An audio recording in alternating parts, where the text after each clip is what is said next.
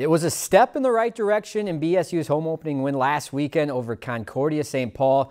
But as head coach Brent Bolte has said, there's still a lot of football left, and it's time to move on to the next game. And with that, a trip to Sioux Falls Saturday to play Augustana.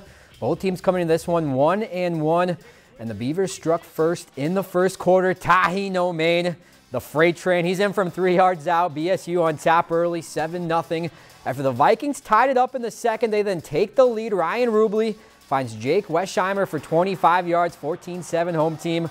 But opening drive, second half, Beavers answer three plays, 12 yards, 44 seconds. Jordan Hine, Andrew Lukowski touchdown. We're tied at 14. And then goes to overtime. BSU settles for a field goal, but then Ryan Bradbury for Augie walks it off. Five yard game winning score to the outside.